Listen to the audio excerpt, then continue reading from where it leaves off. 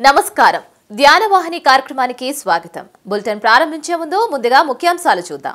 లోక కళ్యాణం కోసమే మహాకరుణ ధ్యాన మహాచక్రం తన వేణుగానంతో అలరించిన బ్రహ్మర్షి పితామహ పత్రిజీ. పనికిరాని మాటలు అనవసరపు ఆలోచనలు మంచివి కావు. వీటన్నిటికీ మార్గం ధ్యానమేనన్న మాస్టర్ కమలకుమారి. భూమి మీద పనిచేసే వారందరూ మాత్రమే ఒక దగ్గరికి చేరగలరు.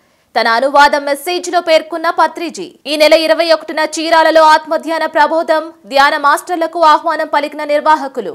కరోనా వ్యాధి కాదని వ్యాఖ్యానించిన స్వామి చక్రపాణి మూగ జీవాలను బంధించే వారిని దండించడానికి వచ్చిన వైరస్. ఇక వివరాల్లోకి వెళితే లోక కళ్యాణం కోసం నిర్వహిస్తున్న మహాకరుణ ధ్యాన మహాచక్రం ప్రకృతి వ్యాలీలో ఘనంగా జరిగింది. విశాఖపట్నం జిల్లా అనంతగిరి మండలం గుమ్మకోట గ్రామం ప్రకృతి వ్యాలీలో జరిగిన ఈ కార్యక్రమానికి ధ్యాన మాస్టర్స్ పెద్ద ఎత్తున హాజరయ్యారు. ఈ కార్యక్రమంలో పాల్గొన్న బ్రహ్మర్షి పితామహ పత్రిజీ గారు తన వేణుగానంతో ధ్యాన మాస్టర్స్ని అద్భుతంగా అలరించారు. ఈ సందర్భంగా వివిధ రంగాలలో నిష్ఠాతులైన కళాకారులు ప్రదర్శించిన సాంస్కృతిక కార్యక్రమాలు వీక్షకులను విశేషంగా ఆకట్టుకున్నాయి. ఇవాళ మూడు విషయాలు తెలుసుకోండి. ఎన్లైటన్మెంట్ అంటే ఏంటో? ఎన్లైటన్మెంట్ కావాలా వద్దా?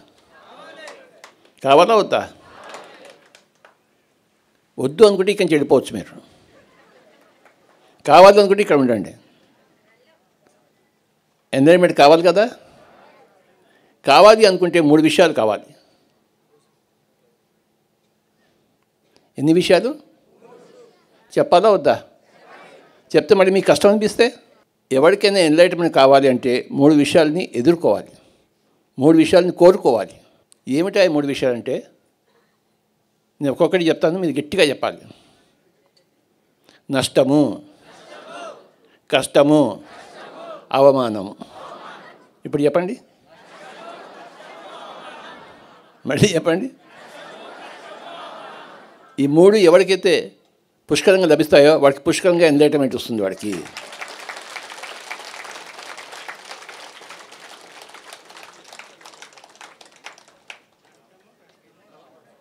ఎన్ని? ఏమిటవి?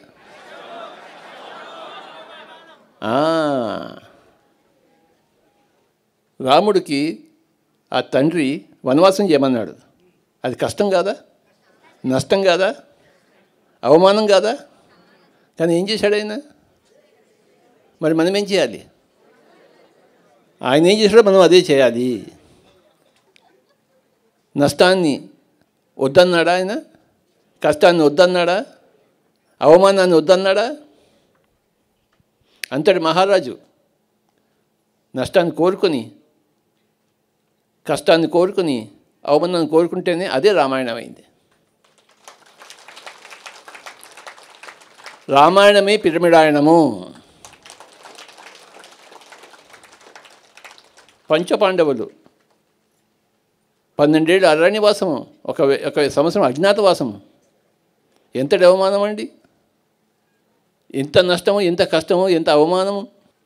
వాళ్ళు ఎక్కడికైతే అక్కడ చంపడానికి రెడీగా ఉన్నారు కౌరవులు.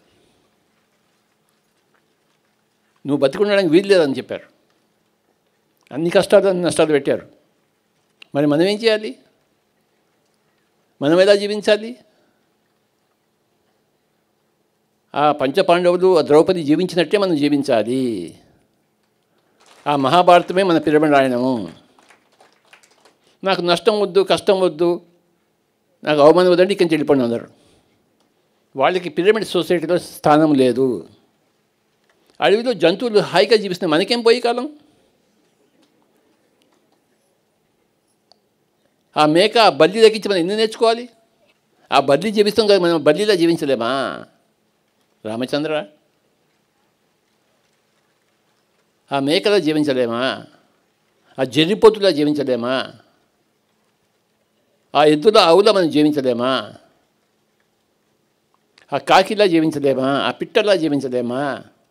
అడవిలో జంతువులు జీవించడం కోసమే పిరమిడ్ మాస్టర్ ఉన్నాడు.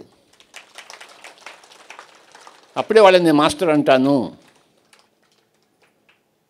ఎవడు ఎన్ని కష్టాలు అనుభవిస్తాడో ఎవడు ఎన్ని నష్టాలు అనుభవిస్తాడో ఎవడైనా అమ్మదో వాడు అంత గొప్ప పిరమిడ్ మాస్టరు.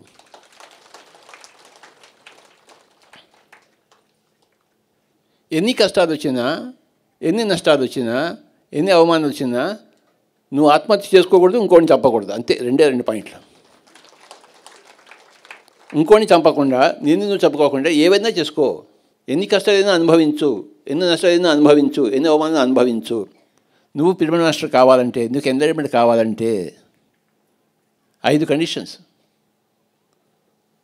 కష్టాన్ని స్వీకరించాలి నష్టాన్ని స్వీకరించాలి అవమానం స్వీకరించాలి ఆత్మహత్య చేసుకోకూడదు మర్డర్ చేయకూడదు. మర్డర్ చేయాలని అనిపిస్తుంది అందరినీ. ఎందుకు అనిపించదు? కానీ మర్డర్ చేయకూడదు. అలాంటి కౌరవుల్ని అర్జునుడు అన్నాడు. ఈయన నా తాతగారు ఈయన నా బ్రదర్ వీళ్ళని నీ వీళ్ళని చంపి నేనేం బాగుపడతాను అన్నాడు. మర్డర్ చేయడానికి ఇష్టం లేదు అర్జునుడికి. I don't want to murder అన్నాడు. నేను భిక్షాటం చేసుకుంటా అన్నాడు. కానీ కృష్ణుడు మర్డర్ చేయించాడు చావు లేదని తెలుసుకున్నాడు కనుక. రేపో ఎల్లుండో మనమంతా ఆ చావు లేని స్థితికి వెళ్తాం మనం.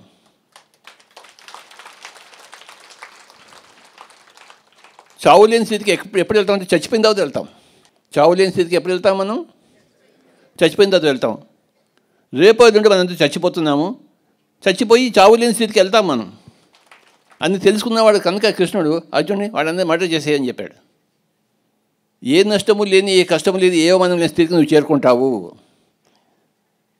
ఆ చేరుకునే లోపల నష్టాలన్నీ అనుభవించు కష్టాలన్నీ అనుభవించు అవమానాలను అనుభవించు. చీమ కుట్టని పాము కరవని చచ్చిపోదాం. సో వాట్ చచ్చిపోతే ఏమవుతుంది? చావులేని స్థితికి వెళ్తాం మనం అక్కడ ఒక స్థితి ఉంది. చచ్చినా మనం చావము. గట్టిగా చెప్పండి. చెప్పట్లు కాదు గట్టిగా చెప్పాలి. గట్టిగా చెప్పాలి. ఇంకెందుకు కష్టం? పితామహ పత్రిజీ వ్రాతపూర్వకంగా తన అనువాద మెసేజ్లో గొప్ప విషయాలను చెప్పారు. మానవుడిలో వివిధ రకాలైన స్వభావాలతో ప్రదర్శించబడుతున్న త్రిమూర్తి తత్వము ఒక లక్ష్యంతో కూడి ఉన్నదని పత్రిజీ తెలిపారు. అది ఏమిటి అంటే జ్ఞానకాంతితో కలిసి ఉన్న కోరికను భౌతిక తలంలో తన ఆలోచనల ద్వారా పంపడమన్నారు. ఎప్పుడైతే ఆలోచనలు భౌతిక తలంలో వస్తురూపం పొందుతాయో వాటిని ఇతరులందరూ చూడవచ్చునని అన్నారు లేదా అనుభూతి పొందవచ్చునన్నారు. ఒక ఆలోచన కార్యరూపంగా వస్తువుగా లేదా సంఘటనగా మారనంత వరకు దాని వాస్తవికత స్పష్టంగా మనకు కనబడదని చెప్పారు. ఈ విధమైన లక్ష్యంతో భూమి మీద పనిచేసే వారందరూ మాత్రమే ఒక దగ్గరికి చేరగలరని చెప్పారు. పనికిరాని మాటలు అనవసరపు ఆలోచనలు అర్థం లేని చేష్టలు మనిషి జీవితాన్ని నాశనం చేస్తాయని మాస్టర్ కమలకుమారి పేర్కొన్నారు. వీటన్నిటినీ వదిలిపెట్టాలంటే మంచిగా ధ్యానిస్తే చదువుల్లోనూ కళల్లోనూ ఉద్యోగంలోనూ బాగా రాణించగలరని ఆమె అన్నారు. అలాగే అన్ని పనుల్లోనూ రాణించడమే కాకుండా విజయవంతంగా జీవించడం సుగమం అవుతుందని ఆమె తెలిపారు. ధ్యానం అంటే శ్వాస మీద ధ్యాసే గాని మరోటి కాదని ఆమె పేర్కొన్నారు. భయం కోపం అసూయ ద్వేషం స్వార్థం అశాంతి దుఃఖం ఇలాంటివన్నీ కూడా మనలో ఉండకూడనివి. ఉండాల్సినవి ఆరోగ్యం శాంతి ధైర్యం సాహసం ప్రేమ స్నేహభావం ఆనందం ఇవన్నీ మనలో ఉండాల్సినవి. సో ఎప్పుడైతే ఈ కాస్మిక్ ఎనర్జీ మన లోపలున్న నెగిటివ్ శక్తులన్నింటినీ వదిలిస్తుందో అప్పుడు మనలో ఉన్న పాజిటివ్ శక్తులన్నీ కూడా షైన్ అవుతాయి. వెలుగు రావాలంటే చీకటిని వదిలించాలి. సో ఎప్పుడైతే మనం మెడిటేషన్లో కూర్చుంటామో అప్పుడు ఈ కాస్మిక్ ఎనర్జీ మన లోపలికి ప్రవేశించి మన నాడీ మండలాన్ని శుద్ధి చేస్తుంది. మన శరీరాన్ని మన కణాల్ని అణువులను అందులో ఉన్న డిఎన్ఏని చక్కగా పరిశుద్ధంగా చేసి మనల్ని శక్తివంతం చేస్తుంది. సో ఎప్పుడైతే మనం పూర్తిగా శుద్ధి అవుతామో మనలో ఉన్న నెగిటివిటీ మొత్తం రిలీజ్ అయిపోతుందో అప్పుడు మనం ఏవైనా సాధించగలుగుతాం. ఆనందంగా ఉంటాం. ఆరోగ్యంగా ఉంటాం విజయాలు పొందుతాం మంచి స్నేహబంధాలు ప్రేమపూర్వకమైన రిలేషన్స్ వీటన్నిటిని కూడా మనం పొందగలుగుతాం. ప్రకాశం జిల్లా కాకుమానులో ఈ నెల ఇరవై ఒకటిన మధ్యాహ్నం మూడు గంటల నుంచి సాయంత్రం ఆరు గంటల వరకు చీరాల పెరుబిడు మాస్టర్స్ వసుమతి ఆధ్వర్యంలో ధ్యానం మరియు ఆత్మజ్ఞాన సందేశం ఉంటుందని తెలిపారు. ధ్యానం అంటే శ్వాస మీద ధ్యాస అని అహింసే శరణ్యమని శాకాహారం ఏకైక మార్గమని ఈ కార్యక్రమంలో ఆమె చెప్పబోతున్నారని తెలుస్తోంది.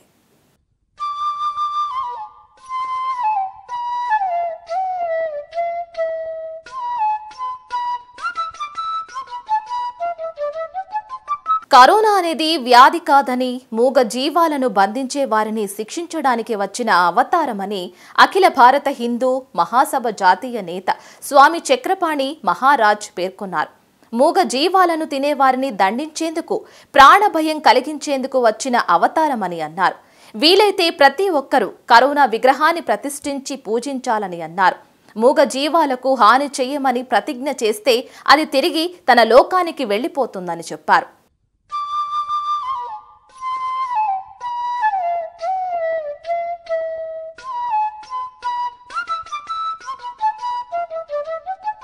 ఇది నాటి ధ్యానవాహిని కార్యక్రమం. మరిన్ని వార్తా విశేషాలతో మళ్ళీ కలుద్దాం. అంతవరకు చూస్తూనే ఉండండి. Pyramid meditation channel. ప్రతి క్షణం సత్యదర్శనం.